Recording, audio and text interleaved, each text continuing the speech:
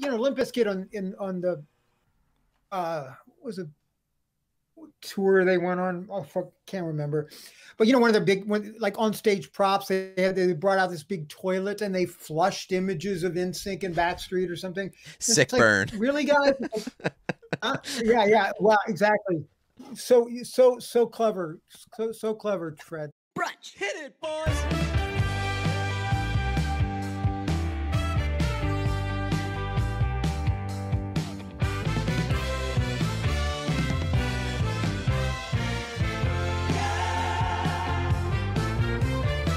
Don't think we've ever been the guys do this and girls do this thing, but something happened to me today that I quite liked. And I was like, I think this is something that only dudes do. And maybe it's just because it's a very douchey kind of thing and women are better than men. But this was a thing that I was like, I would like this to be an everybody does this thing. Go on. When you yield and let somebody go when you're driving, what might you expect back? Uh, like for as like a thank you. As a, some sort of nice acknowledgement. Uh, I think usually just like the hand wave. You do a hand wave. yeah. But every now and then, and this is the gold of drive. Like this is why we drive for every now and then. This moment, it's not to get anywhere, because every now and then you'll let somebody go, and as they're turning, they will point at you. Have you ever gotten that before? No. I've gotten that like six times in my life, and every time I'm so happy. It makes my I, that would make my day. Yeah. And I was like, I don't think I've ever done that before. I don't have the confidence to. But like the, the guy is going, he's taking a left. I have the right of way, and I let him go. He's got a big truck. No Uh, one. yeah, I feel like mean to that guy. of the percentage of people that like point, uh, like ninety nine percent have to be truck guys. stereotypes were in play here. yeah. Um, the guy, the guy's turning, and he's like, I think someone was in the car talking to him. Like he was not paying attention to what the person was saying. He was like, probably saying something like, "That's my guy," Yeah. right? And that's just something that I wish everybody would do. I don't want to water it down totally, but I would say everybody. I can't say everybody because I, I don't have the confidence to do this, but like I don't know every but I think that every everybody. like 20 times someone lets you go just have the the stupid bravado to be like I don't think Yes. it, I don't think it necessarily even has to be like a point. I think that maybe we should just start getting more creative with the ways that we acknowledge a person in a car. Like I might like every twenty times might start blowing a kiss. right I toss a macarena at them Yeah, Just- right. yeah Just really throw them off their game and be like, "Damn, that person's that person's got something going on, and I like it. It's made my day." all right we're installing dashboard cams and driving around to see how many people let us go and what we do in return It's like Like- carpool karaoke, but Exactly. like carpool uh, charades. so like the easy one would be dab on them you, I, I think that you would have to point and dab d- you'd be like this one's for you Yeah, but that also seems uh, quite dangerous. You're taking both hands off the wheel to dab. that's true that's but like if you gave like a Uh, one hand on the wheel with like uh like sir ma'am with like a quick point and then bam, yeah be pretty good. Uh, how about a quick little? This would be way too dangerous. But depending on if you've had years of training, just like toss a quick little magic trick at him. Nobody would believe Just a that. quick rabbit out of the hat. yeah, just like, why's that guy got a card in his hand? He doesn't have. Where did that card go? You're just like, That's not my card. uh, a quick little like hat tip yeah, might be might be a good one. Yeah. I like tipping the hat. Mm-hmm. Tipping the hat is way more vocalized than it's actually done in practice. Correct? Uh, yeah, like an old. You had to give him the old tip of the cap. Yes. You. Unless you play baseball. I don't think you've ever. Has a tip of So, the like- cap ever happened outside of baseball or like the 1800s? Um. Everybody wears like uh Probably not. like top hats. No, probably not. Yeah. But I'd like that done more in practice as, as well. Just give a nice little tip of the cap. That's a tough tough one though because then like you're giving a tip of the cap, but you're also revealing your hat hair. If, Yeah. If I'm wearing a hat out, I'm not taking my hat off because I probably have like very embarrassing hat hair. This one's for the Patreon people. Oh yeah, that's not great. Yeah, but uh, hat hair when you got long hair is o- it's it's okay. You there's just like a very, very big flat. difference between certain areas of your of your head.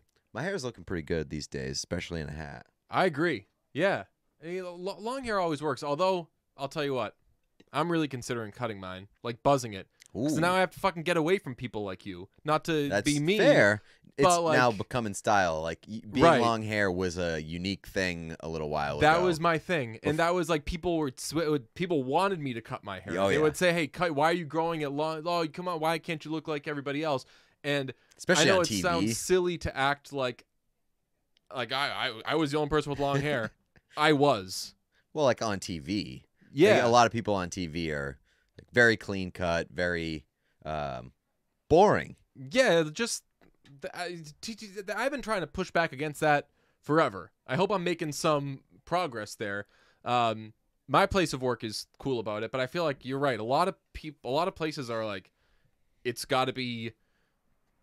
I'm, I want to say conservative, but maybe that's uh, maybe that's the wrong word. But right, like, clean like cut. clean and like this and then like everything just so and nah, be yourself. Yeah. Um, uh, there was a, quite a bit of pushback uh, last week when I uh, debuted the the middle part. Yeah, I don't think it was. So I- I'll tell you what. I've been through the the look that you did. I've been through that before. I don't think it was the middle part. I think it's just that you let it fall and you didn't put anything in it. That to the person who has it is more exciting, especially if they're growing their hair for the first time or growing their hair when they hadn't in a while. You're more excited about it because it's you're like accomplishing something Yeah, it's different. you're working toward like you you this i did not have this before and everybody who sees it is going to feel either like they like it a lot or like they don't like it so much Yeah. so you're gonna get at the very least you're gonna get a lot of conversation about it which for me i i like attention on my own terms um but I don't like. I, I'm more like like, hey, like we're all having the same conversation about something, not like, hey, look at what he's wearing and what he's doing Yeah. and stuff. Um, so I don't. I, I'm not a crazy big fan of that. I enjoyed the memes. The Miles sending uh, the uh, what's Uh, his name from uh, Chris Malcolm in the Middle. Masterson? Yeah, yeah, Yeah. yeah. Was that his character's name? There was uh, Reese. There was Malcolm. There was Dewey. And shoot, I got all of them except uh, Francis. Francis, yeah, that's right. yeah, yeah. Francis. Yeah. Who I bet Francis ended up being a, a totally fine kid. Definitely. That was it. That that show.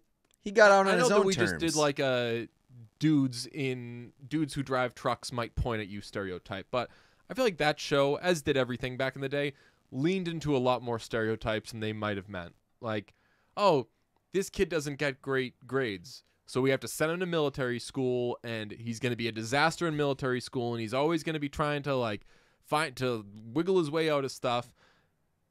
And like a, a lot of kids aren't nailing it when they're young. Like that, that I don't think that Francis and that don't don't go back and be like he burned someone's house down in this one episode. I don't remember every episode, but Also, how fucked I have confidence in Francis. how Or fucked up is it that that show is called Malcolm in the Middle and there's four brothers? yeah, but I think that it's probably I didn't know about this at the time, but it's probably something about um, middle child syndrome. Yeah, but he's not even a middle child. Yeah, he is. No, because there's we're just, there's four of them. Yeah, he's the third of four. That's not middle. Yeah, it is. No, it's not. Yes, it is. Middle is like in between. There's two middle children in that because there's four. Well, there's two middle children, but it's about Malcolm.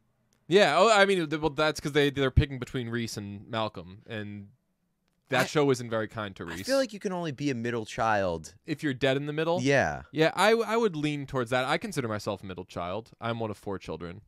Oh, really? Yeah, Interesting. yeah, but I I think that that middle child stuff kind of manifests itself in different ways. I I honestly don't even understand all of these stereotypes about middle child Yeah. syndrome because I I have so many other syndromes that when I learned about middle child syndrome a few years ago, I was like I This I is way this is way on the list, low on the Oh, list of priorities. yeah, right, please. I will figure that out uh, much, much later. Uh, tell you what, we've got a an award show episode that we didn't expect coming because No. I think our interest has just dwindled and dwindled and dwindled on award shows.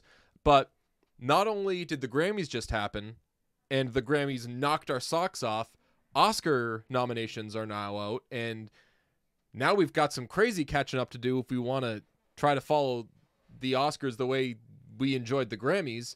we've, we've been a big Oscars podcast the last couple of years, but Grammys were amazing. We're going to talk to John Norris in a few minutes about the the Grammys. Just John Norris, legend, has been around music forever. Um, we talked a little bit on about this on the stream on Monday, but this was the best Grammys show I think ever. It was the best that I can remember watching. Um, and just to say that was stunning is uh, a severe understatement because I didn't even know if I was going to watch the Grammys. I had no interest. I was surprised that you were in from the beginning. You were like hanging out for a little bit at the beginning of the Grammys, and we were doing the typical you text with your friends during the Grammys thing. Mhm. And I think they just never let. I think I think their strategy was smart because they never let you get away. They opened with, "Okay, here's Harry Styles," and you're like, "Cool."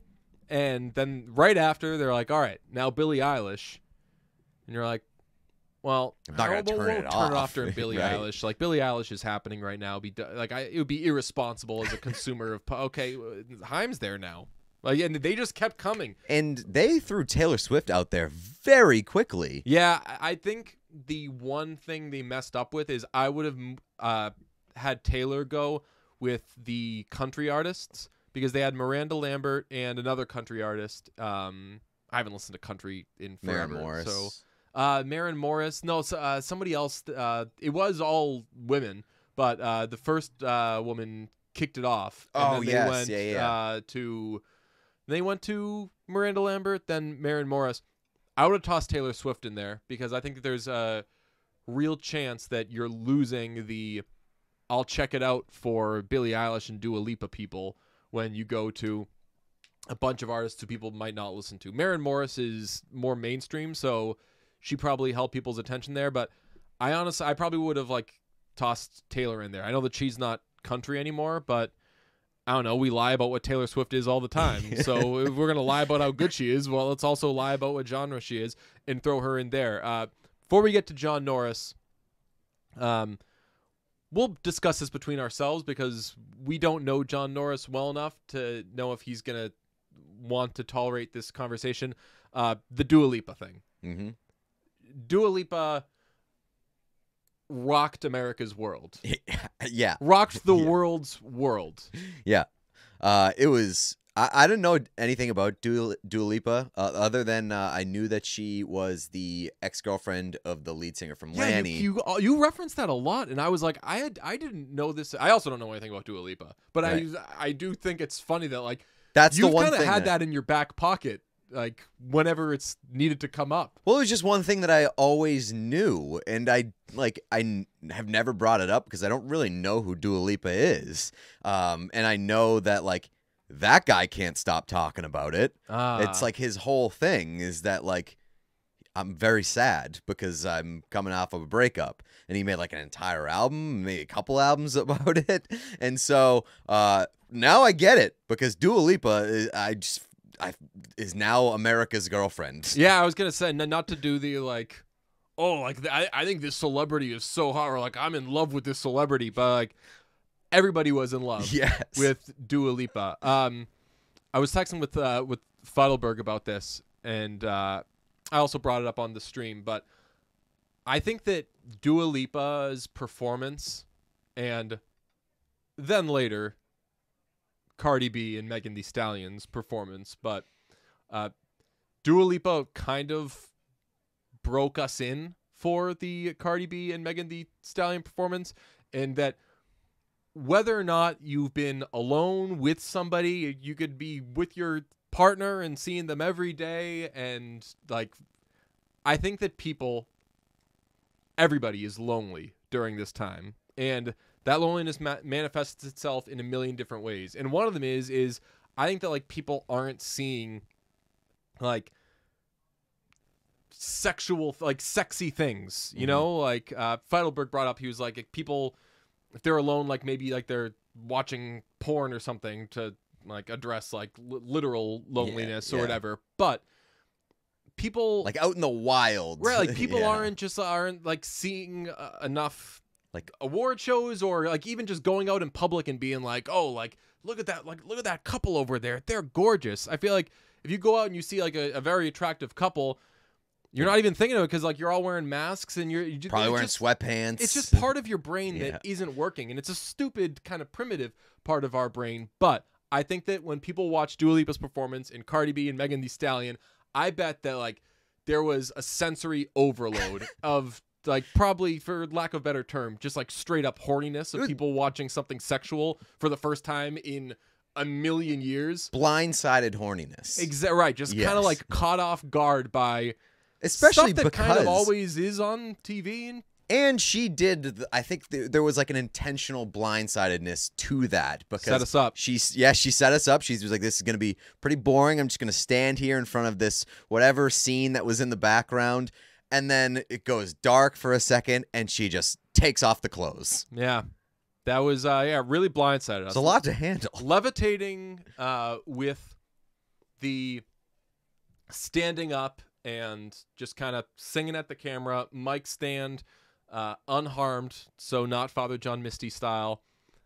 That was kind of setting us up, but it shows how 2021 our brains are. We were texting about it. We were like, "I guess this is what she, I guess this is what this performance is, huh?" right like neither of us were allowing at all for like the pro- pro- someone's going to start dancing now or there's going to be an outfit change or something it was An Uh, all it was an all-time bamboozle, I'll tell you, because we were waiting for a bad performance because all the performances to that point had been just like knockouts, Yeah. and just kind of waiting for one that that was a bit of a letdown, and it started off pretty boring and pretty static, and I texted you, I was like, okay, this one is is probably the first first stinker, miss yeah and uh, yep, uh, that didn't that didn't age well.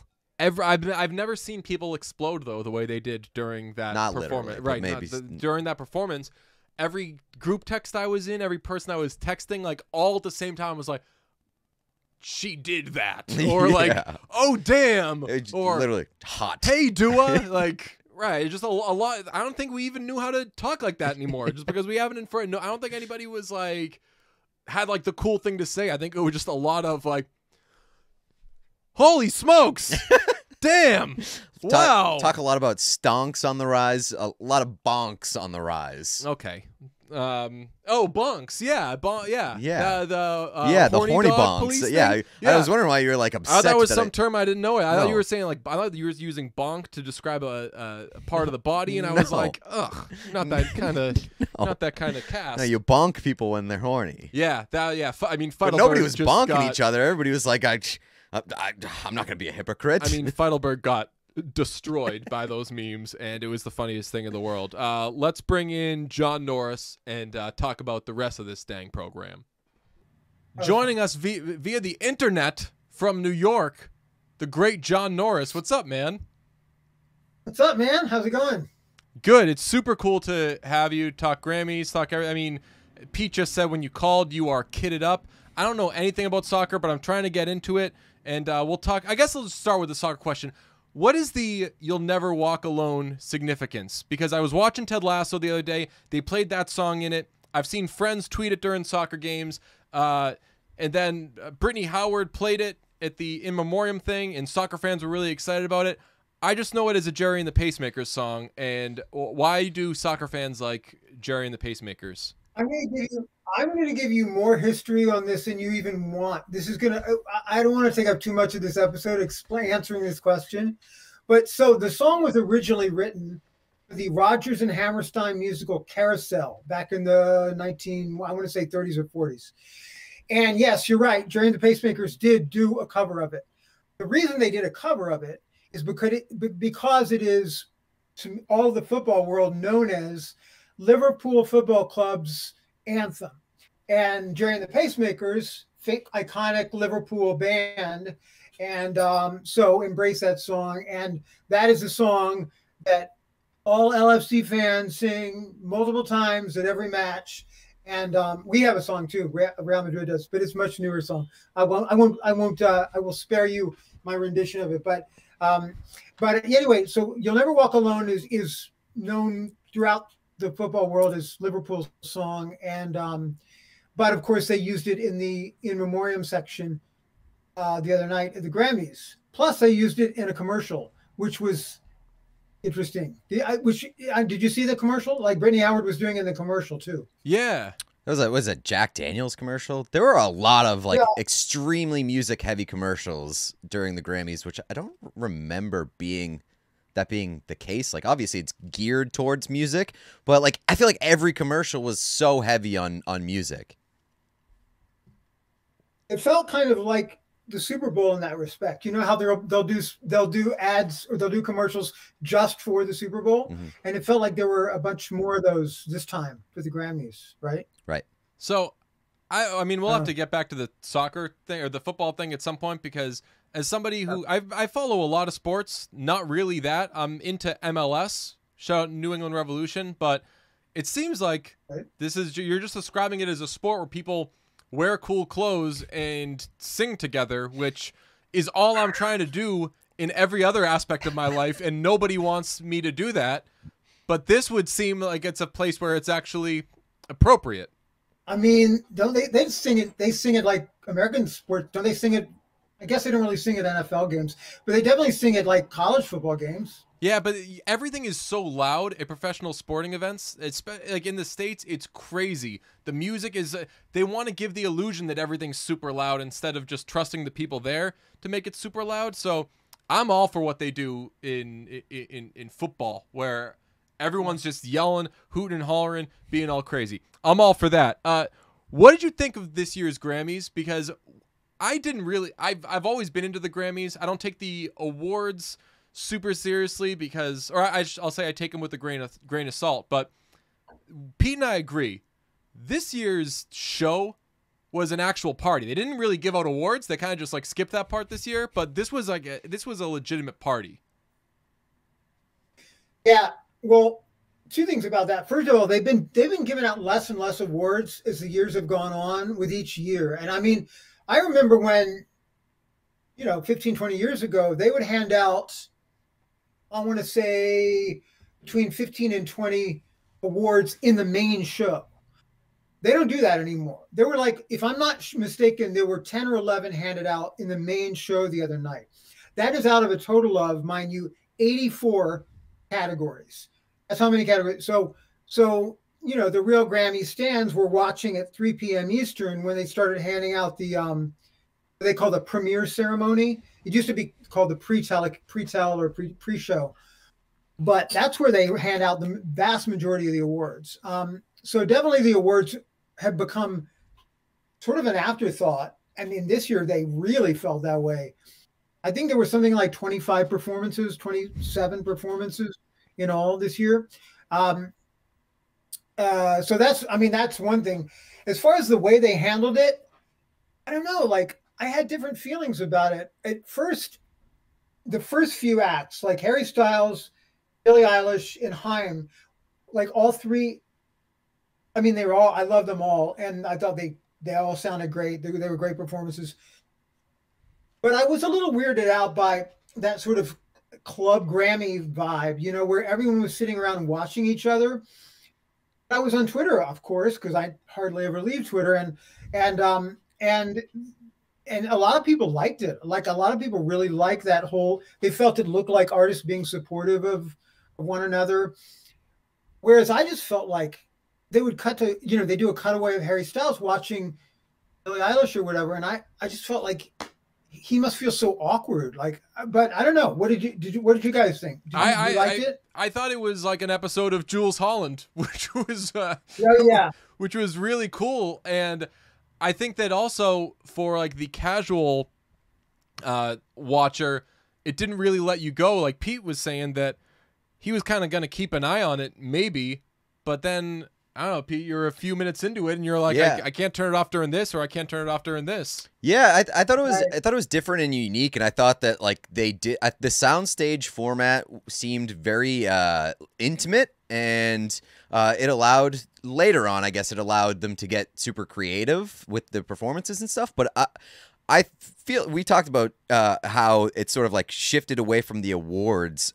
I feel like the Grammys have kind of shifted away from even the music in, in recent years where it's kind of just more about the spectacle and i feel like this year it's scaled back and kind of made it more about the music and sort of just like the intimate vibe of the performances. And I really like that. Yeah, I, I love that it wasn't like grand. There were definitely grand moments. I mean, WAP was as grand as you're going to get, but I mean, really, prior to that, like I don't know, Taylor Swift and like there there were a bunch of like lights put up in that little weird house where she was hanging out with Jack Antonoff in cosplay or wh- whatever he was doing. Like that was kind of the most production there was. I, I like that. You mentioned um WAP and, and the whole Megan Cardi section. That was big.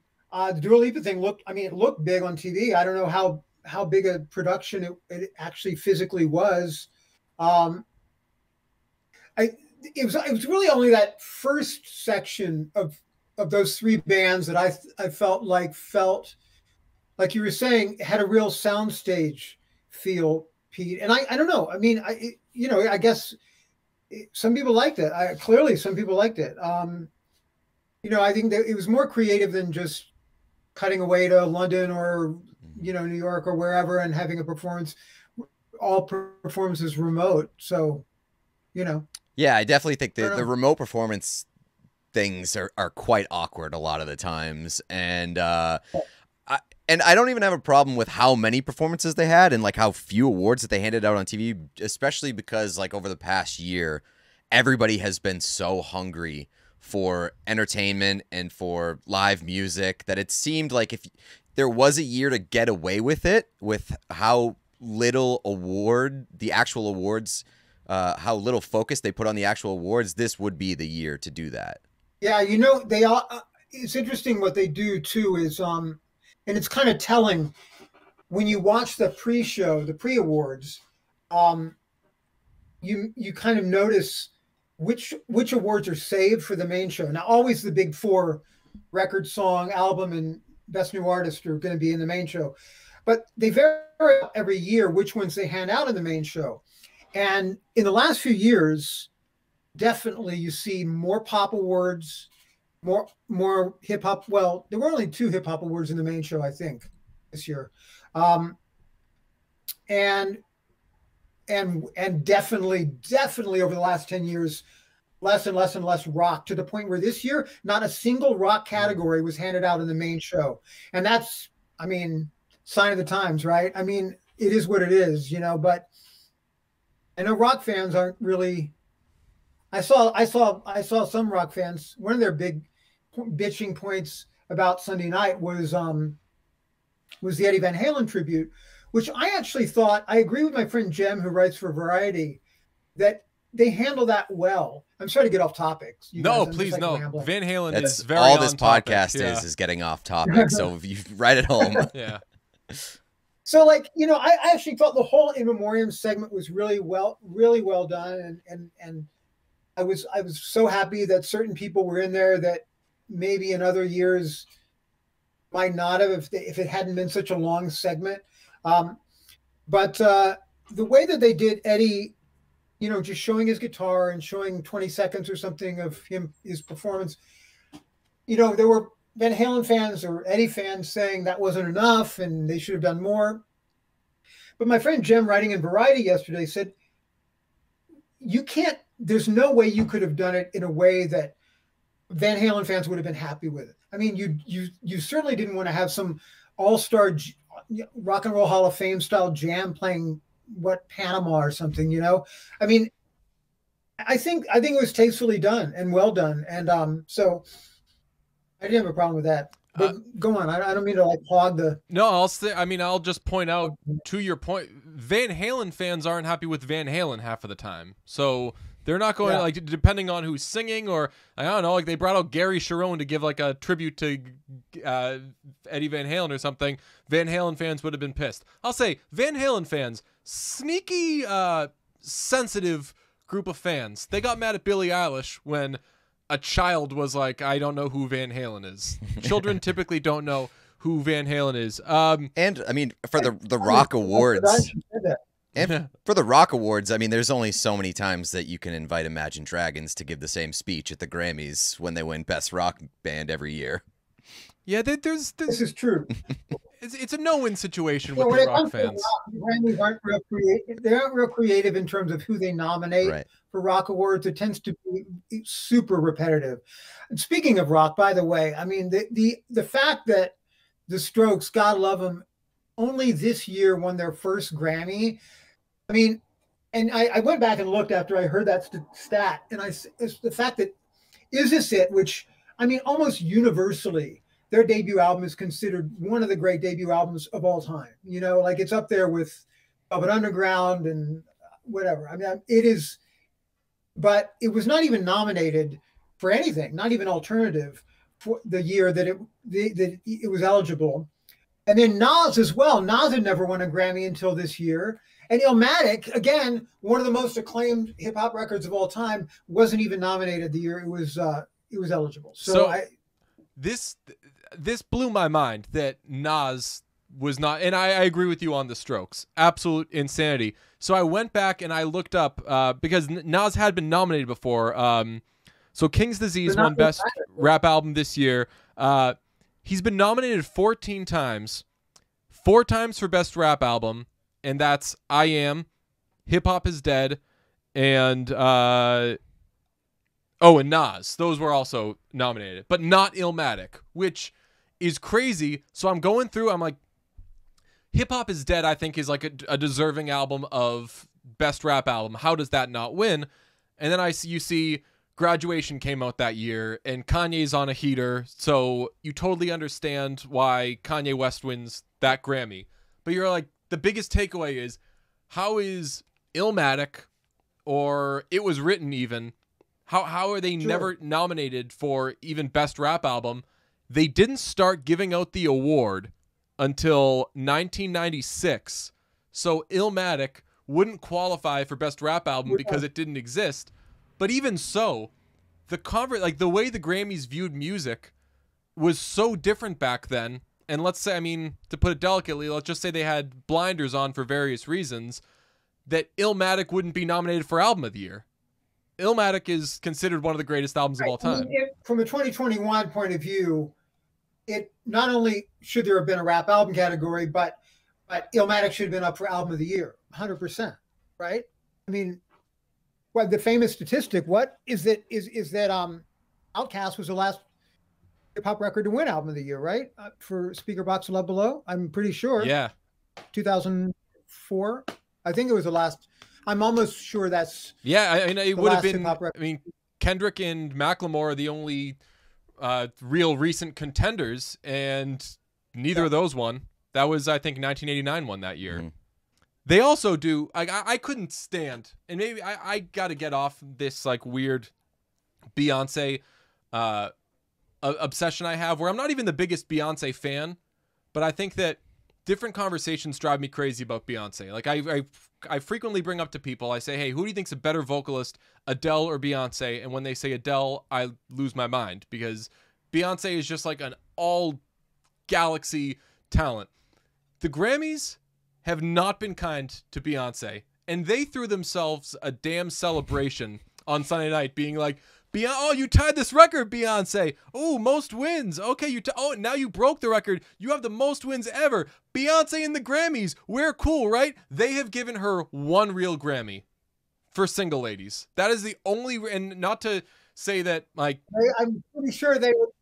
I'm pretty sure they would take exception to you calling one out of 28 a, a real Grammy. But um, but in any case, I know I, I know what you're saying, and um, and uh, I mean it's ridiculous. I, I mean the the Adele, the you know mentioning Adele too, it brings to mind, you know that moment this year where Billie won to everyone's surprise record of the year, and then did that whole thing of like I feel embarrassed and and and you know Megan this is really yours and that I don't know how you guys feel about it but I I just you know it, it's not Billie's fault she won right so like that, that idea of sort of like apologizing for winning it's like it is what it is you know I I mean like on the Grammys the fact that Megan didn't win or anyone else didn't win and when I don't think anyone really I mean, I love Billy, and I more power to her. I thought last year's sweep was a bit much, but but whatever. Um, for that to win record of the year, just that was one of those moments where you're like,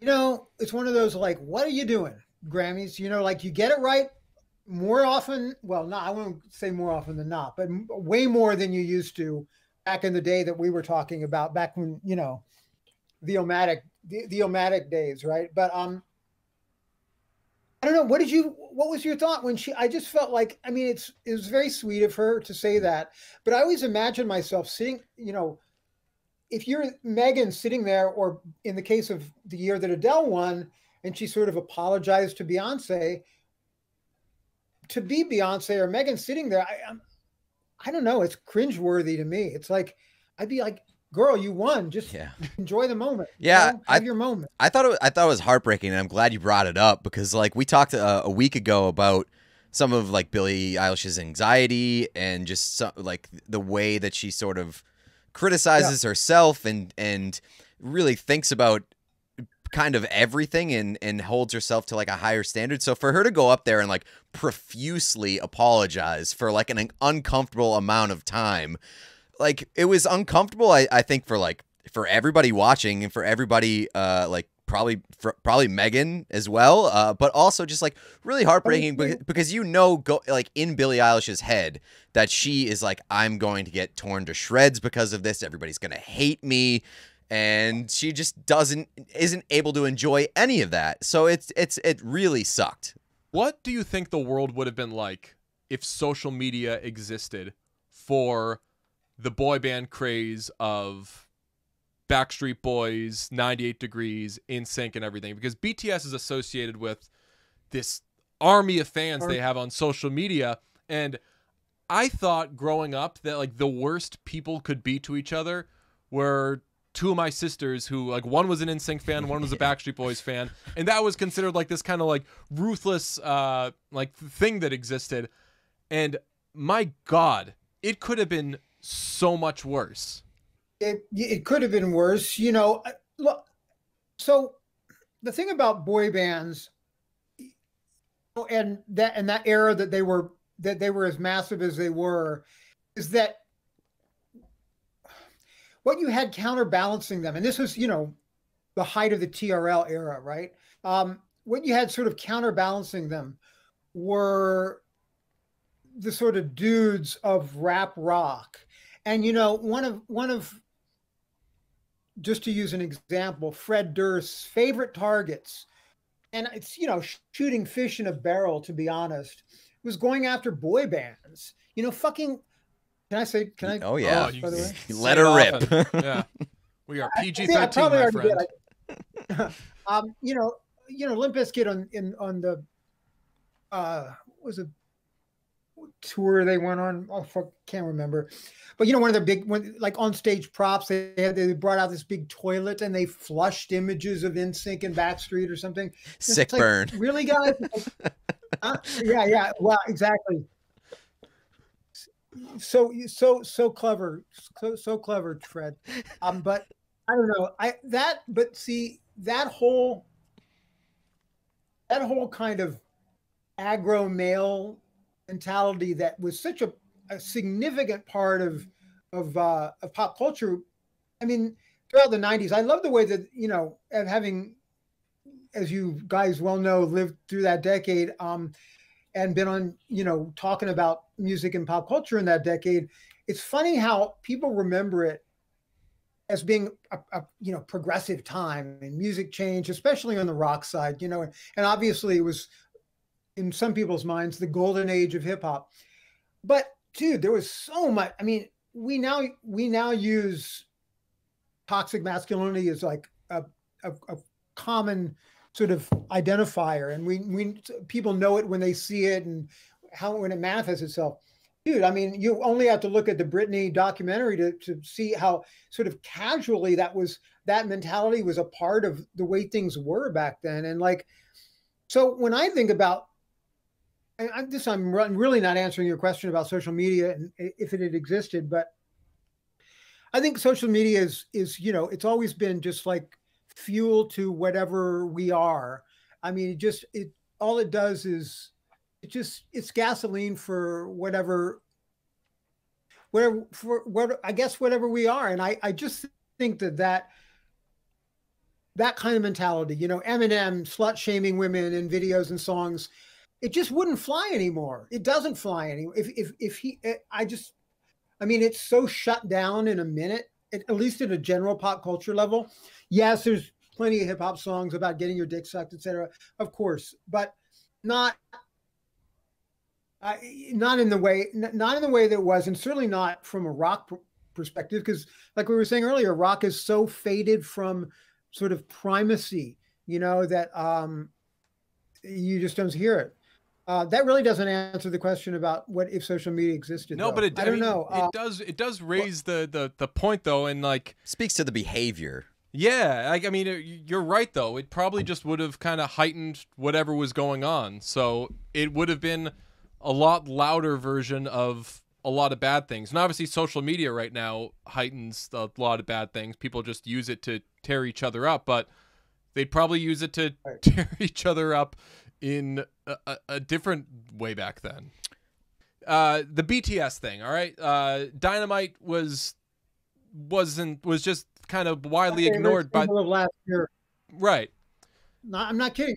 My fa- my my favorite pop single. It is last so year. so good. good. I, I, I mean, and and I and I feel like pe- there wasn't a consensus, except among clearly the, the army. I think there was a consensus that it was as good as it was. Like, I, can never. I don't think I'll ever get tired of that song, and it just puts a smile on your face. And and there's been a lot of times for when people have not had smiles on their faces past year, and I don't I don't know why anyone finds that song anything other than just pure bliss and um, the fact that it got one nomination, and dude, I love Gaga, and everyone, people who follow me know I love Gaga, and I've interviewed her a bunch of times, and we're, I consider her a pal. So, and I'm not. This is not anything against Rain on Me. I'm glad it got an, won an award, but the fact that Dynamite had to lose that one award, um, and then, I mean, I was on like throughout the entire show watching because all I all it took, I knew it would happen. It was it's almost like you can, you, I knew it was going to happen the second I tweeted something about BTS being robbed, but it looked like it looks like they're going to close the show even though they were robbed. Oh, holy shit! Within ten minutes, four hundred likes, fi- you know, five- you know, 200, 100 comments. Like The BTS army like- undefeated. it's unbelievable. Um, so it's just it's, it's it's a real shame that that song didn't get more shine. I, and it doesn't make sense to me. It's like it's you know if that song had been done by say Bruno Mars, it probably would have gotten record of the year, or Yeah. song of the year Yeah. nomination. Yeah. know? So like, I really believe. quick timeout. The audio got a little jumbly here, so we'll pick it up with John talking about how artists were viewed, critiqued, etc. back then. Uh, just going off of the Britney doc. I don't need to tell you guys that when the Britney um when the Britney doc aired, there was a lot of conversation about Justin, which led to a lot of conversation about Timberlake, that is, not Bieber. Um, and uh, which led to a lot of conversation about Janet and the Super Bowl. And you know, I lived through all that and people have asked me in the year, and there's a there was a clip from an interview I did with Timberlake a couple years after uh Cry Me a River and all that stuff went down. And um and also a couple it was a year, I think a year after the Super Bowl with Janet. And um and people ask me, you know, have asked me in the years since, you know, didn't you didn't you feel like it was shitty the way he kind of threw her under the bus or whatever? And I guess my answer to that is really that I was so pissed off at the way America kind of threw her under the bus and and like and and and thought that was so, so shocking and just you know outrageous. My attitude was it's it's a breast. Get the fuck over it, you know. And I I, understand there will be people that would say, John, it's a family entertainment. It's the NFL. You can't be. I don't. I'm sorry. No, no. There's a hell of a lot more things to worry about in the world than a bare breast. So I was so at the time. I just remember being so disgusted by this you know, overly judgmental uh, countries' reaction to it that what Justin did or didn't do, I don't know. I didn't really think that much of it at the time. Um, and likewise, Cry Me a River, you know, I, don't, I mean, I interviewed Britney probably four times in that period of 99 to when I left 2008. Um, and my my interactions with her were always great. And I mean, I don't. I like to think I treated people treat people decently, and I just not that kind of. When I see that in the in the documentary, that montage of like these just pricks, like tabloid pricks, asking her this. I said this to someone else recently. I was like, "Can you imagine Ariana Grande today being asked in a press conference about her breasts?" Oh, For fuck's sake! God. she'd like not only would she walk out, she'd probably like smack the guy, rightly so. You know, like I mean, I mean, I don't know. There was there was a We moment more during the Britney topic. documentary where she was in an interview and they like they asked her about uh, the the wife of like some politician I think it was or it might have been a politician themselves but like they were like this person said they want to literally shoot you. Right, like you ought to be shot. I was like, "What?" I was alive during this and I don't remember it being this absurd. Even I don't remember that. I, a lot of some of the a lot of that those stories that would live for a few days and tabloid stuff around her. After a while, I just I don't know. I maybe I was getting them out because I was doing more. I think I was doing more um like indie rock stuff by then because I finally was able to do like music that I hadn't. You know, my history there was a lot of what I did in the '90s was because we were the news operation until Sway came along and Serena came along and Gideon came along. We didn't really. It wasn't very big. It was basically me and Kurt and Tabitha and the early part of that decade. So a lot of what I would do for news would be stuff Kurt didn't want to do, right? So that would be the pure pop stuff, except for Madonna, because Kurt always got to do Madonna until finally I did. And I, I actually, you know, knew her, but when it came to interviews, um, it was always him, which is fine. Um, but so like he, he wouldn't want to do, he definitely wouldn't, was not going to do boy bands. Um, and he had no interest in, you know, talking to Britney or Christina or any of that. And um, so that would always fall on me, and that was fine. And also, for a long time, news didn't really cover that much indie rock in the 90s, I guess, alt rock, but a lot of that was left to like 120 minutes and for Alt Nation. Um, but finally, I got to by the by the early 2000s. I had been there long enough, and and like I was just bitching about shit left and right. That they're like just to shut him up, let him do, go talk to you know, Grizzly Bear Vampire Weekend or whoever he, you know he wants to talk to. So. sorry, to, sorry to bring things down. No, No, no, yeah. no. I mean, that's. I'm. I'm just thinking of like how just different the the world is, but like the different like the industry is and the music industry, just uh, everything. Like I, I, I work in television, kind of, and I'm aware working in it now that it used to be so much different. Where I, I don't know, just for for some reason you talking about like.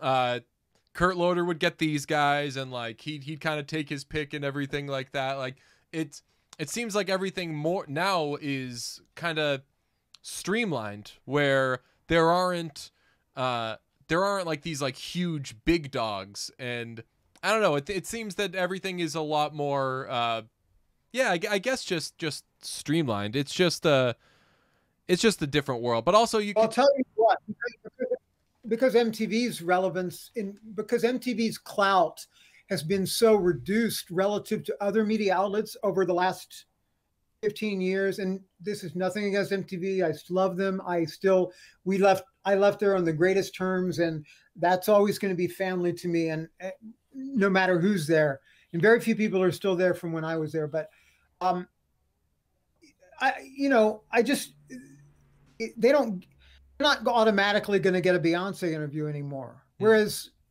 you know, up I, certainly up through the mid 2000s, you that would it was a given.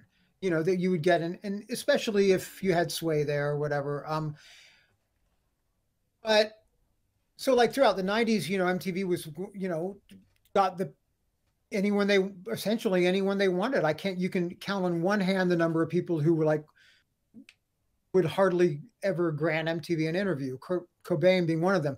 I think he only did one or two interviews and kurt loder did both of them.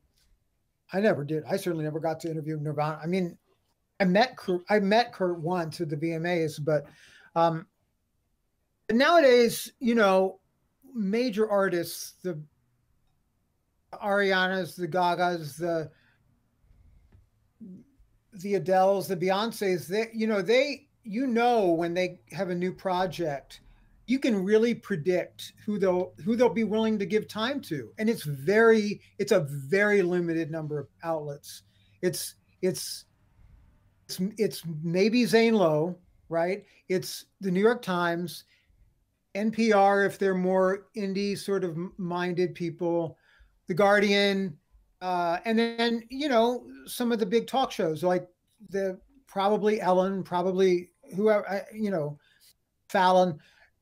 That's it, and that's it, and because they can go places that they know are friendly territory. You any artist knows they're going to go on Ellen and Fallon, and it's just going to be a love fest. And there, there's not going to be a challenging question. I'm sure you guys saw the clips that have resurfaced in the last few weeks since kind of since the Britney thing of Letterman mm-hmm. being what some people would say is shitty to Lindsay Lohan, Paris Hilton, you know, and seen through the lens of kind of today and being reevaluated. I have mixed feelings about that. I Paris Hilton's got a got a rich history of being shitty to people, so it's not like I'm gonna I'm gonna shed too many tears for Paris Hilton. But um, you know, um, it, it is it's to answer your question though. I mean, about I mean things have things have changed so much, so much. I think that the artist and and publicist has a lot more control now and they can just say no to things. And my social media has a lot to do with that. Mm-hmm. You can just you can just like choreograph your message and your and and your what you want to put out there and and pick and choose. Be a lot more picky about it. I'll ask a quick uh, BTS question. Do you think that they're going to yeah. be around much longer because I didn't realize they've been. I've been thinking of getting into them because I like Dynamite so much, and honestly, I think it's the only song I know by them. But they've been around for 11 years, and that sounds like that's pretty much how boy bands go. Like it should be any day now, and I don't want to get invested and get, have my heart broken. In fact, it's longer than a lot of boy bands last, right? I mean, um, I don't know that, that I don't know that K-pop plays necessarily by the same rules that Western boy bands have in the past. I know that, and I'm not, I'm no K-pop maven, so don't quote me on this, but I think that um, mandatory military service is coming up soon for at least some of the guys in that band, and mm. um, so I think maybe a hiatus is coming up. I don't, I don't know. I I can't speak super um, uh, intelligently about where they're at career wise, but um, I, I, I dynamite is and, i know people you know the, the real stands the army folks will say where have you been? Is a why haven't you been supportive of them until dynamite? Why did it take an english language you know pop dance disco song to for you to get behind them and i look i mean i'm not i don't claim to have been with bts from the beginning but i'm happy for them for whatever kind of shine they can get. Um i I don't know. Hard to, hard to say. I don't know. Um, I don't know where we're even at with Western boy bands. You know, I think we're at a kind of a lull. Yeah. You know, in that sense. Also, BTS has like 90 members, so they could like stand to lose a couple and still survive. Yeah. So. Yeah, do what bands used to. This this never happens anymore. I know it, maybe it's because bands don't exist, but in my day, um, or I guess it was a little before my day, but a band would just My- lose its lead singer, be like, "It's cool, we got a different guy, and we're still that band." Like the idea of I'll use the example of Maroon Five because because like Adam Levine was quoted recently saying like, "Hey man, what happened to bands?" And it's like, well, you killed yours. You kind of yeah. happened to to bands, dude. But um, imagine if Maroon Five this would just never happen. If Adam Levine left Maroon 5 and Maroon 5 was like, "Hey, we got someone new. Like, I hope you give us a chance." Like the things like the Eagles replacing um why can't I think of his name? Uh, Randy Meisner with Timothy B. Schmit or whatever. Like th- or Sir- Van Halen switching lead singers. Before your, Right. I mean, that's definitely before your. But like that just used to happen. there Um, would just be that turnover, and it'd be like, "Hey, these are the stars. You're uh, you got posters of us on your wall. Look, we had to say bye to one of them, and we're gonna keep going." Now it's I mean, Blink know 182 did it, and everybody was like, "This isn't Blink 182." exactly, exactly. Like it, it just, I feel like it just does, doesn't happen anymore. Yeah, I don't think it happens anymore either. Um, and when I when I well, when I don't like it is when like iconic bands who've lost a singer who's among the most iconic singers in music history, in the case of Queen or INXS, do this thing where they bring on, granted, no res- no disrespect to to uh, Adam Lambert, but like talk about shoes to fill. And like You're right. I mean, like, I, or and and honestly, I felt that way about Michael Hutchence too. Like, not at the level of Freddie Mercury, but um, I don't know. I understand that they've got an amazing catalog, and the remaining members don't want to just give it up. But really, like, and of course, in the case of INXS, didn't they have a contest to replace their singer? Wasn't that? Oh yeah, happened? yeah, yeah. It was like a- Uh, this brings up a question that is very near and dear to the podcast. Uh, did you see Bohemian Rhapsody, and what did you think of Bohemian Rhapsody, the movie? Uh, uh, hmm. Yes, I did see it. Um, well, I love Rami Malek. I'll leave, I mean, I, that's the that's the the nicest, and I and I actually liked Rami Malek's performance.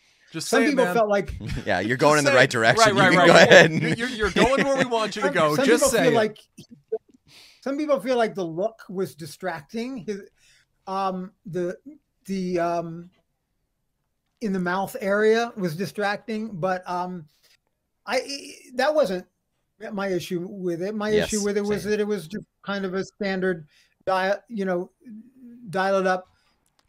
Paint by numbers. and also that, Yeah.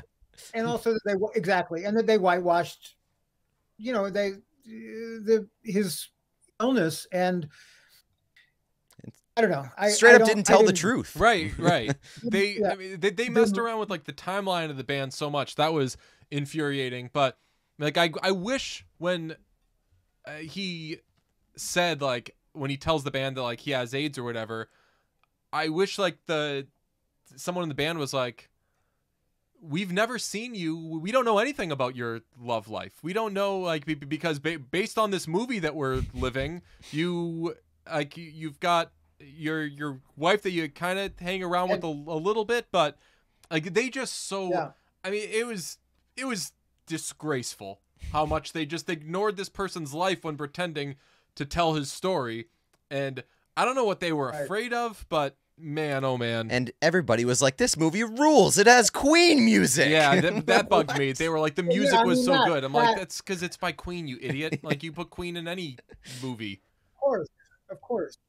And the people who were saying they loved it are the people that don't even really want to think about the reality of who Right. Freddie was or, or his life or you know that and that and you know and honestly when you consider that Brian May was everything had to be signed off by him and the and the estate everything that went in that movie it just it it's it makes me sad that that's the way this sort of like scrubbed version of Freddie is what they want they that's what they want to leave the world with you know i don't know Yeah. i, I did not see rocket man i don't know maybe did you like rocket, Rocket Man, was more? better. Much Rock, better. Rocket Man was more of like a jukebox musical. And uh, Oh, I, I, I'm a big Mamma Mia 2 head. Pete and I both are. Uh, I like I, I like that kind of thing. If you want to do a movie like that, then by all means. If you Like, want to just if like you're if you're not gonna tell the the like the truth and and really kind of let us in, then make it fun make it and a different. fun production, yeah, just Yeah. yeah.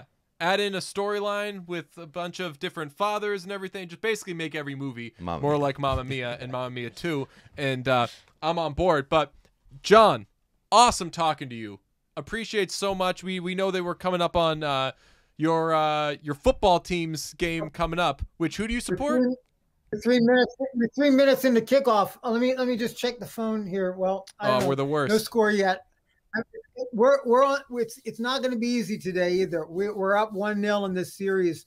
It's Champions League's round of sixteen.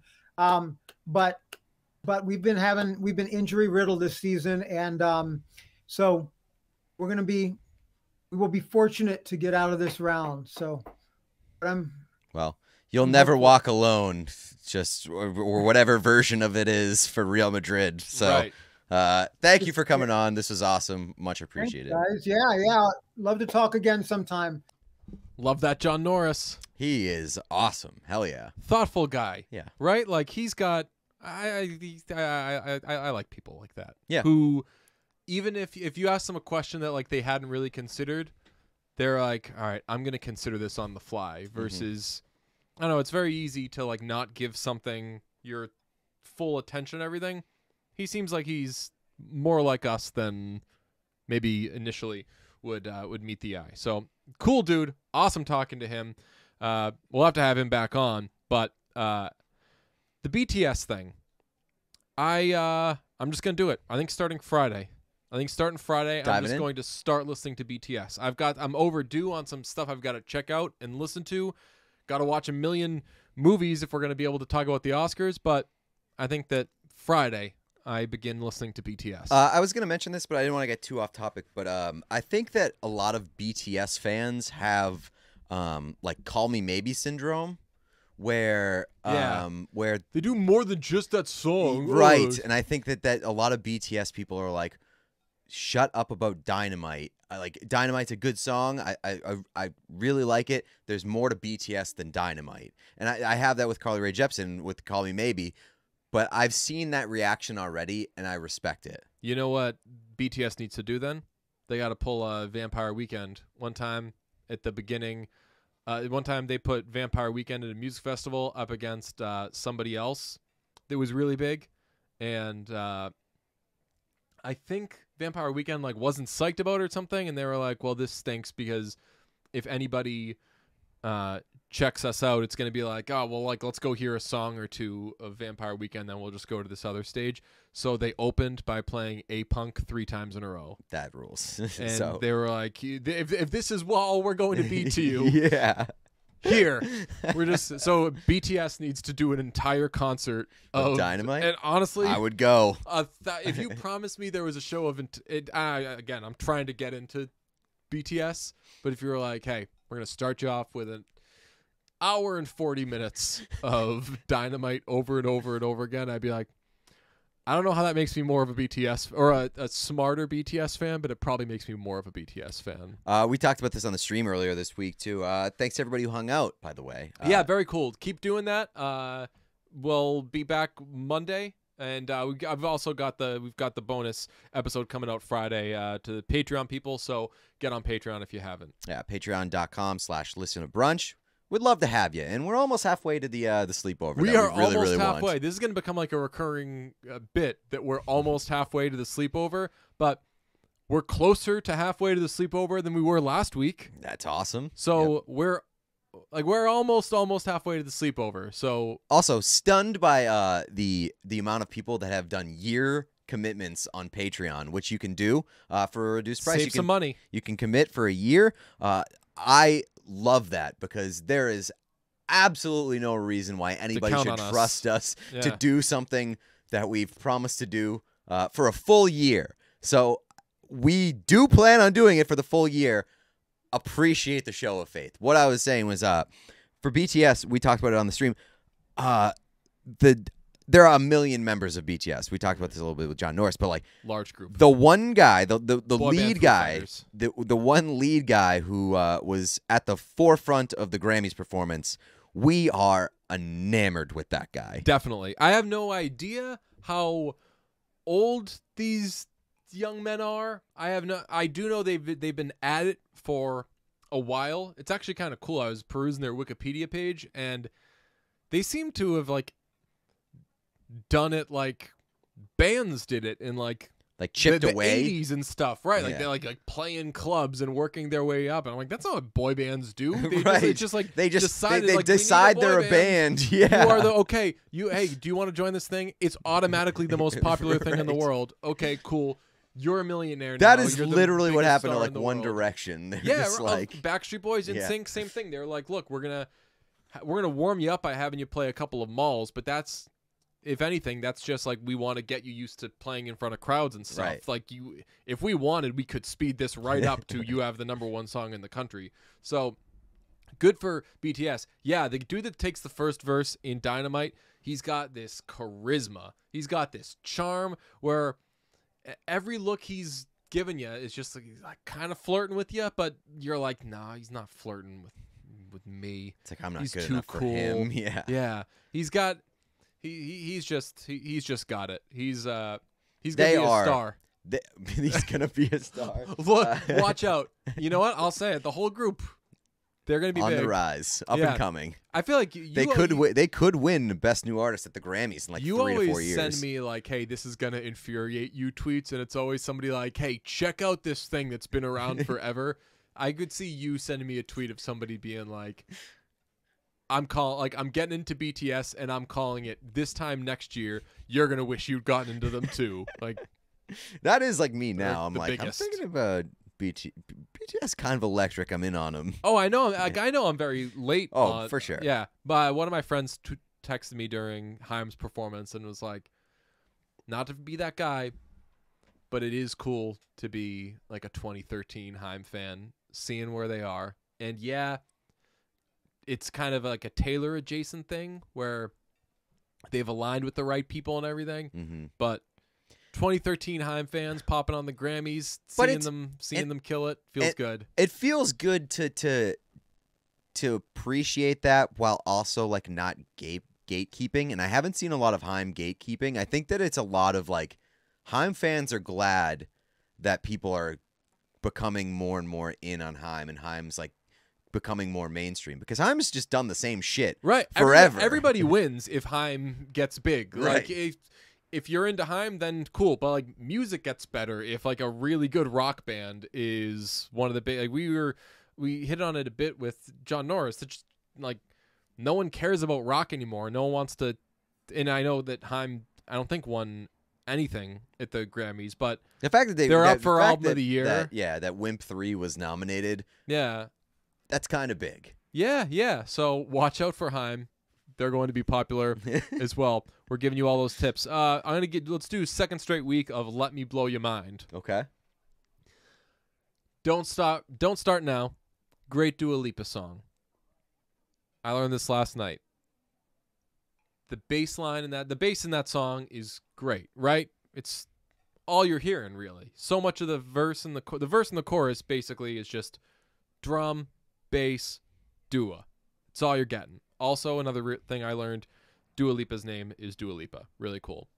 Did you know that bass is not a real bass? Really? It's just a MIDI bass. Yeah, just like someone played it on a keyboard. oh, Tell you what, cool. Didn't blow my mind, but it'll blow when you listen to it. It'll blow your mind because it really sounds real. That's it's uh like the Seinfeld theme. okay. That Yeah. that's not a. It's real- not a real bass. Yeah, I know that. plays on a on a keyboard. So So it changes every uh every episode. I think yeah he Yeah. would like re-record it to however whatever uh, tempo Jerry was pacing. which is the intro. incredible. Yeah, that guy is an interesting dude. I don't know if you. I get a lot of targeted stuff from him on Really? Instagram. I forget his name. It's uh. It's very similar. I feel like it's similar to uh Dua Lipa. Seinfeld 2000's name. Oh, okay. Uh, let's see. Uh, Seinfeld music guy. His name is oh Jonathan Wolff. Yeah, and Seinfeld 2000's name I think is. I, I won't dox him, although it's out there. Yeah. Google it. Um, but yeah, Jonathan Wolff is a very eccentric man. He posts uh, fun eccentric videos of him just being like, "Hey, Will and Grace fans."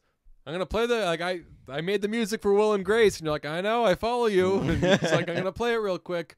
He's great. He's delightful. Um, that's uh, I think that kind of wraps up any and all Grammy talk. Uh, I mean, get ready for Silk Sonic to take over your life. folks. Yeah. that's gonna be. I Bruno Mars hasn't gotten old yet, and it's surprising that he hasn't gotten old because everything he does is so freaking derivative of something you've already heard, and, it's, so like freaking grand. Like Yeah. everybody should be like, this guy is fucking obnoxious, but he's so good yes, that nobody is like, fuck this guy. He's too over the top. Yeah, talent wins out. I think Yeah. with that. That's you can get away with stuff if you are so so so talented. Uh, got to put in a quick request uh, to the world. Every time Taylor Swift talks, stop saying Easter egg. Did you see Oh, that? No. It was trending yesterday. It was like Taylor Swift dropped an Easter egg in her speech, and I was like, I can't have a third one of these albums. It's incredible that we've done this much Grammys talk and we uh, haven't even like discussed the takeaway. But I think that it's just you would like to avoid it. No, I mean, I don't know what else there is to say. Right, with, yeah, like, yeah, right, right. Everything she does is going. Everything she does is the best, and it's perfect. and now uh, Taylor Swift is better than the Beatles, more talented than everybody in the world. There's no way that anything she does is trite or formulaic, whatever. And look, I like trite stuff. I like formulaic stuff. It's why I like Taylor Swift. I the stuff of isn't it the best? Just Yeah, and and like I hate that question being asked when the answer is no. And I feel like most of the time these days we ask, "Isn't this the best?" The answer is no. yeah, and and it, I think it, it sort of like stems from we don't want to yuck anybody's yum. Don't- yeah. But also like not everything has to be the best. Things can just be they solid could just be like are. good to to very good. To, Shout out, um, shout out. Circling back, they kind of lean into the small to mid-size Yeah. podcast kind of thing. I mean, not everything. There's only we had this conversation with um, shoot our uh, pal uh, Martin Rickman, uh, talking about albums or something, and someone was like, "Oh, this. Well, it's not Thriller." It's like, yeah, it's because Thriller's Thriller is once Thriller. in a once in a generation album. Yeah, there is one. There is one thriller. So, the it, the the Taylor Swift thing, the bar is set. It's established. Anything that she puts out now, for for if that album wins album of the year, it means that everything she puts out for the rest of her career will win album of the year, and that's fine. I'm Just glad. I'm glad that it hasn't I angered guess. you. I, I didn't want to do like a because I know we, we land in in uh, different different areas of enjoyment on folklore. Mm-hmm. I'm glad it didn't anger you. Uh, I'm glad that you kind of had some time to process it before it even happened, Exactly. so what it didn't ruin the night for you. Um, yeah, but like even for me, like I I really liked folklore. Um, and it, maybe like the the my favorite album of the year based on like what I listened to, but I didn't listen to a lot, and I probably can tell you and admit that there was better albums that year. Um, so I, I couldn't even take like a victory lap or anything. It was just kind of like, okay, I hope people don't go Yeah. overboard with this. Yeah, and Charlotte tweeted, um, "Look, I'm by no means a Taylor hater, but Women in Music Part Three and Future Nostalgia were both better than uh, Folklore. I very much agree with that point. I also think that neither of those albums are deserving of album of the year. But the first part of like, look, I'm by no means a Taylor hater. Who's a Taylor hater? There, I mean, Nobody. Like, I, I really don't are, think. but like I, but- I I do think that at this point you shouldn't have you shouldn't have to defend yourself and add that disclaimer to like any fair criticism of Taylor Swift, and now you do. I sent out a tweet uh, during uh, during the performance. I was like. I love Taylor, but this is like the lamest performance of the night so far. Yeah, I don't know. There's just this weird thing. I of- hate that you have to just like put that disclaimer out But there. how many people are really hating on Taylor Swift? Like, uh, who are, people hearing folklore being like, "This sucks"? It doesn't suck. It just doesn't do. It's it's it's just I think bland. it's It's, just nothing. I think it's just more of a defense mechanism used against the army because the Yeah. army will just assume I do that for sure. I'm like, hey, look, right, I've given her a lot of my money, as have all of us. right. I am I have that in common with you. But the, the the army will automatically assume that you have some sort of anti-Taylor agenda anytime you say something negative about Taylor, which is why the the disclaimers have to be thrown out in case somebody co- comes and catches it out of context. It's silly. It's, It's the place that we are now, and it's terrible. Yeah, it sure is. Um, the the the present sucks, Dawson. That's right. The Fuck, we need to get sucks. back into that. Yeah, we should bring back the present sucks. we should bring back random reviews of uh, Dawson's Creek episodes because whenever we don't have anything, man. We'll just just grab a, a Dawson's Creek episode. Uh, Oscar things are out. Oscar nominations are out, and boy, we just didn't take in any real anything over the the last year because I'm looking at the Best Picture noms. Usually, when the, the Oscar nominations come out, I'm like, I just got to see one or two things, and then I'm good. Best Picture noms: The Father, Judas and the Black Messiah, Mank, Minari, Nomadland, Promising Young Woman, Sound of Metal, The Trial of the Chicago Seven. Some of these I know I should have seen, yeah. but I have seen two of these movies: Um, which one? Obviously, Promising Young Woman, and what other one? Judas and the Black Messiah. Okay, I still haven't even seen Judas and the Black Messiah, and that was like very easily available to me, and Yeah, everybody was talking about it, and I did, still didn't see it. Um, I'm a little embarrassed about that one.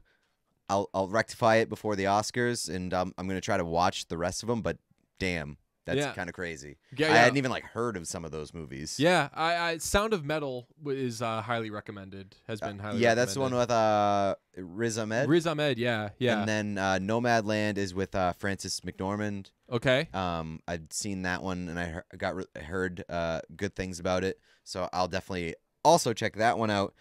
Uh, I'm very happy that Promising Young Woman got got uh got the nod. Oh yeah. I I I'm starting to see more and more like that people are listing that as their favorite, and I do think that uh, based on what I have seen, which again is a limited sample, but I think Promising Young Woman is my favorite movie that I saw from like the last year. Yeah, it was. I would. I think I would agree with it. Uh, no, I, I honestly I preferred. Um, I care a lot. Really? Yeah, Yeah. and both of those kind of take like, uh, leaps. And uh, my my main critique with Promising Young Woman was how The it assumes that you're willing to to part with the main character. And i wasn't really. And i know that look no, without spoiling anything like movies have like people go to jail and people die and stuff and like things happen to these It's not always characters. tidy or happy. right and but- it's maybe it's not supposed to be pleasing but it i think positioned it as a kind of like a wink at the end of like hey everybody won here and i uh i i, you know, I was cool not prepared for that to happen Yeah. to she dies at the I- end. Like I, there's no way of saying that.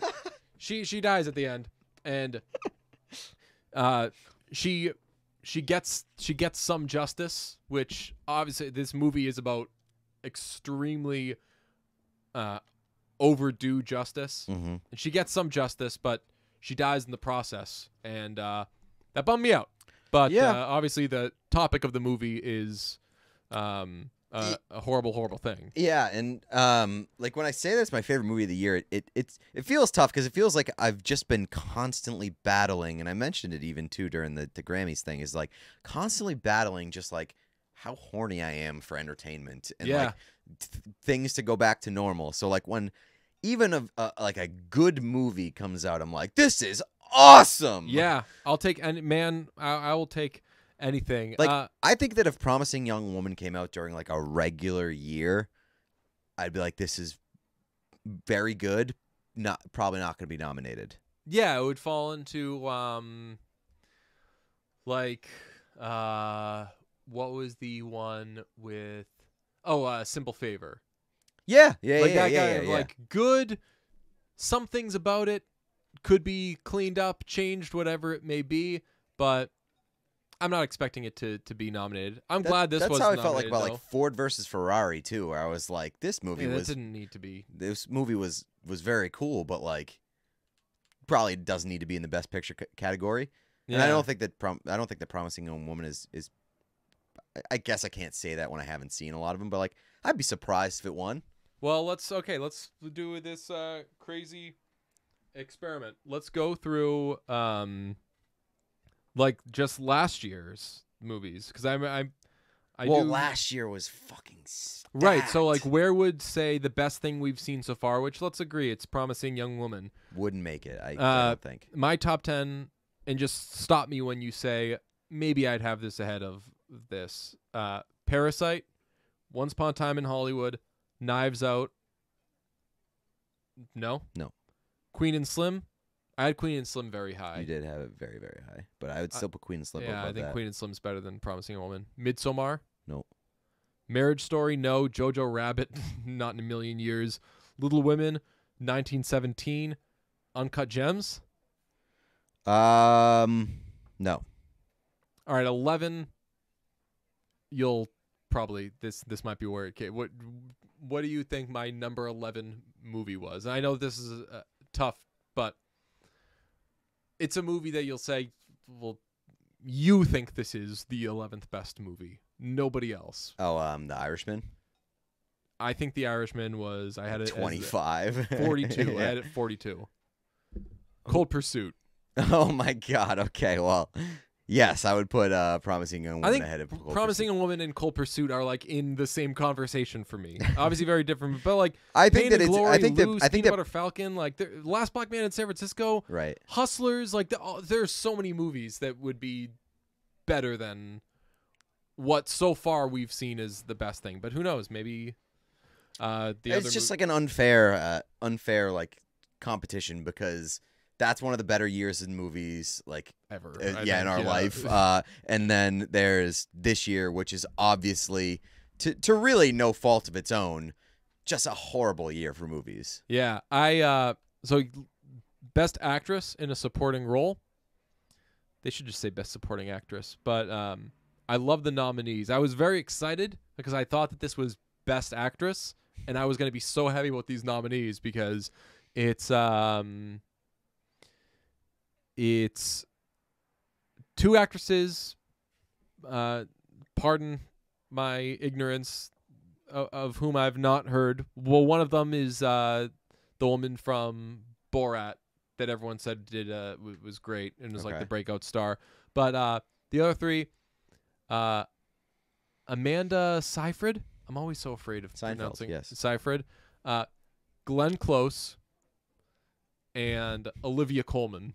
Oh boy. I would have loved if Glenn Close was up for Best Actress and Olivia Colman Yes, was like, I am no. so down to watch Olivia Colman just body Glenn Close and Yeah. ruin that storyline every year. Yeah. And like I don't I It's like Glenn gotta be- Close. it's always gotta be Olivia yeah, Colman. Right. I just need it to be a bit. Yeah, uh, but that's for Best Actress. It would be dope though if in what two of the last three years, Olivia Colman bodied Glenn Close in various categories. Yes. But I mean, I could run through these. Uh, I could run through these uh, nominations, but I don't think it would do anything for anybody. yeah. Oh, I am happy. One that I wanted. I thought it would be Best Actor, but he's up for Best Actor in a Supporting Role. Lakeith Stanfield Hell was yes. nominated. This is the Stanfield podcast. We we field him, as they say. Um, I don't. And, and stan. yeah, no, I get it. um, I, I don't think it's disrespectful to say that I, I bet that this is Amanda Seinfeld's first uh, nomination. Yeah, yeah, yeah. I do very much love that uh, the Mamma Mia cast now gets to boast another uh, Academy Award nominated actress. Yo, yes, Mamma Mia Three is Yeah, going to right. the longest trailer right. ever. like I, I want I want uh I want the um uh Zombieland 2 experience Mhm. where it, Zombieland 2 like every actor when they first made it it was like obviously a, a good cast but when Zombieland 2 came out there was so much time in between it that like uh, Jesse Eisenberg had been nominated. Uh, Abigail Breslin had been Emma nominated. Stone. Emma Stone had been nominated. So literally, like every piece of the main cast was an Academy Award nominated or winning uh, actor. I want that so bad for Mamma Mia. Uh, on Emma Stone, uh, podcast decision has been made. From now Mm-hmm. on, it's not called Cruella or whatever it was going to be called. The Cruella de Vil origin story will be called Dog Joker. Dog- bang bang, dog- gavel yep, banged. Yep, Dog Court has ruled on that. That movie will be called Dog Joker. We've got to, and I, I bet it's going to be maybe via Zoom or something. But whatever movie junket they do, whatever press junket they do, we've got to be in on that, right? Yeah. We, like we should try to get. We, We should should tell the try to- wash guys, be like, listen, don't have to get us ads. Yeah, Just get us in the mix. got to get us Stone. Get us in the mix for Dog Joker. We get we got we got to get Stone. We got to get Hauser, and we need them to know. Will we will be calling it Dog I was Joker going to ask. I was going to ask. I was going to ask. We have to make the commitment right now that if if it happens, Dog Joker. we got to call it Dog Joker. Right. Just be like, hey, uh, at the end of the interview, be like, hey, um, if you could just like look into the camera and say like, hi, I'm Emma Stone. My new movie Dog Joker is out. Whatever.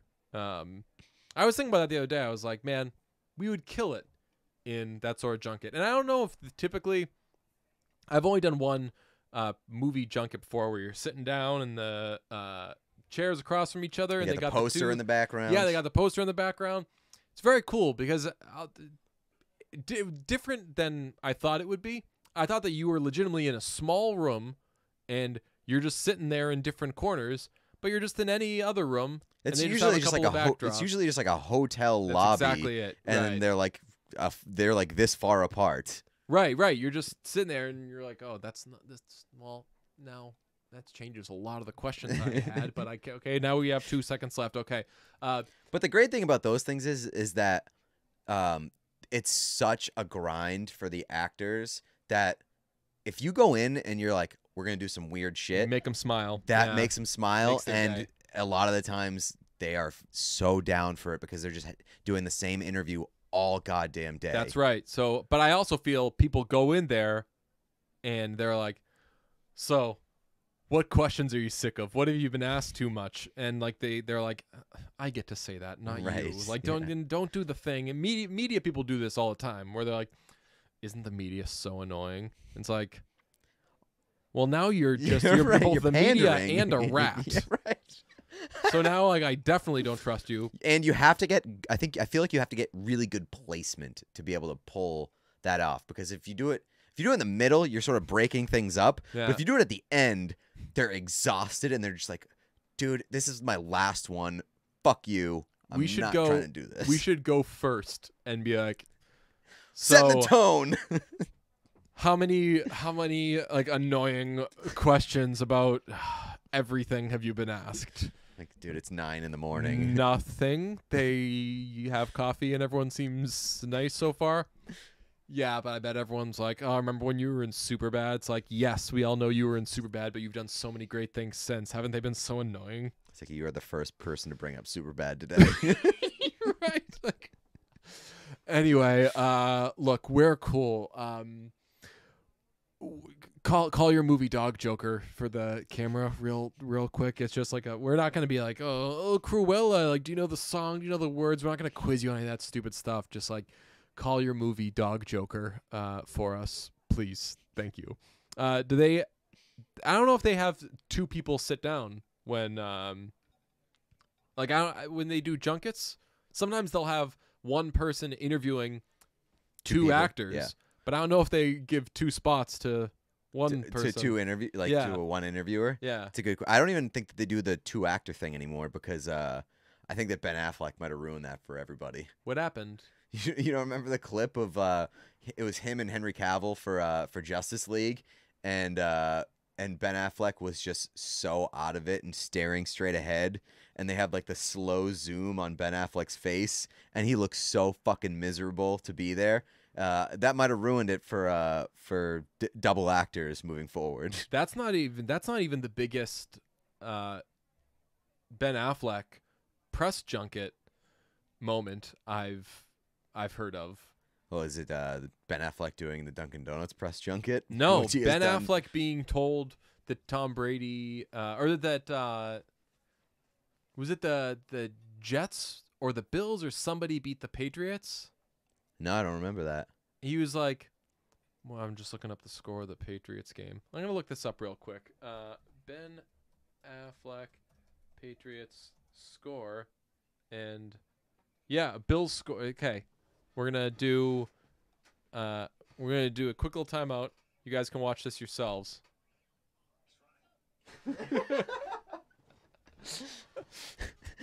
He's disgusted. In the wait, what? They're the Rex Ryan? like That's a man Yes. whose brain is totally fried and he's just not ready for that news. Yeah. We should go to a Ben Affleck press junket and be like, look, I know everyone else here is probably being so annoying to you. Um, do you see what the Patriots score was last week? Yeah. it's a good thing Rex Ryan wasn't there. He's so annoying. what are we gonna do about him? What are we gonna do about Ben? N- nothing. We're, Nothing. we're nothing. we are not gonna be in his life at all. No, he is, it's so sad. He's gonna have nothing. He has to do no with- idea who we he is- are. he's gonna have nothing to do with us. We are. Fuck. That is the correct answer.